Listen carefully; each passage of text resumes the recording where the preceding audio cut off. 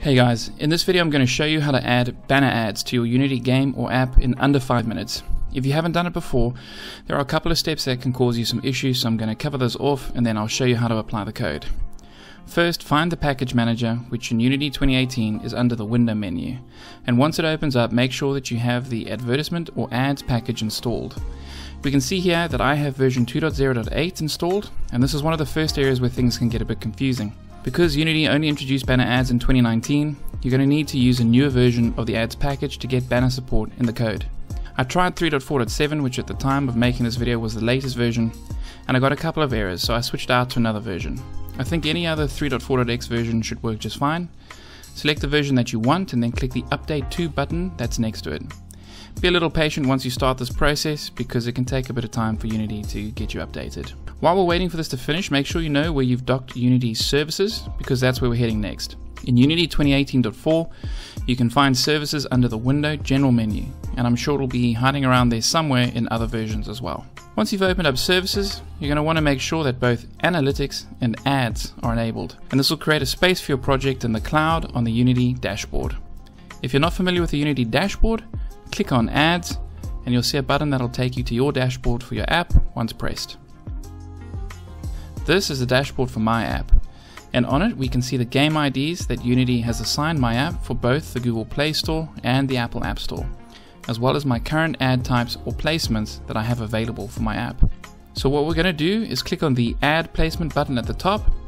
I'm going to select the banner placement from the menu and I'll just call this Banner Ad. Hit the Create Placement button and this will effectively enable banner advertising for our project.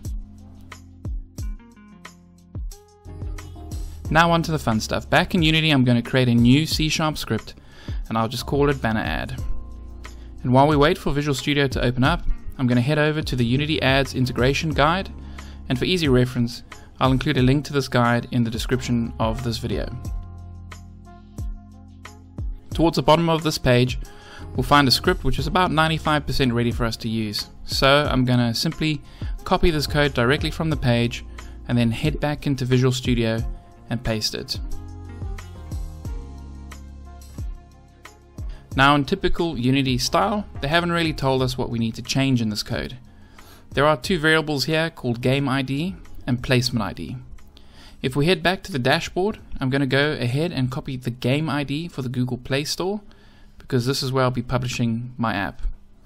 And remember that we named our placement ad already and we called it banner ad. So the placement ID variable is going to be replaced with the name that I gave to my placement being banner ad. Next I'm going to remove the test mode bool because I've actually already tested this code and I don't want to have this there for my production updates. Back in Unity, we're going to create an empty game object to hold our code and I'll just call this banner object. Then I'm going to drag and drop my banner ad script onto my newly created game object and I can see that it isn't allowing me to do that and instead it's throwing up an error.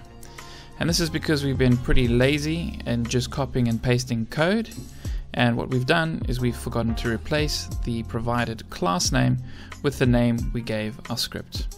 So I'll just update that now.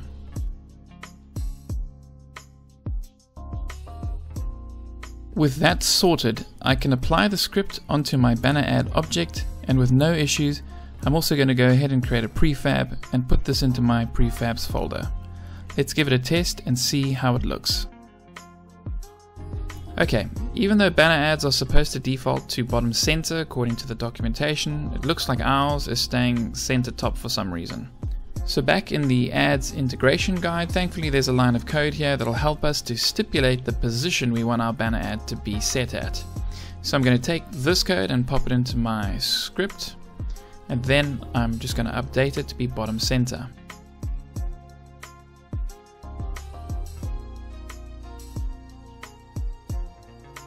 And we'll test this again Great, we can see that our banner ad is now appearing where we want it to, and that's it, job done. Our app now has banner ads.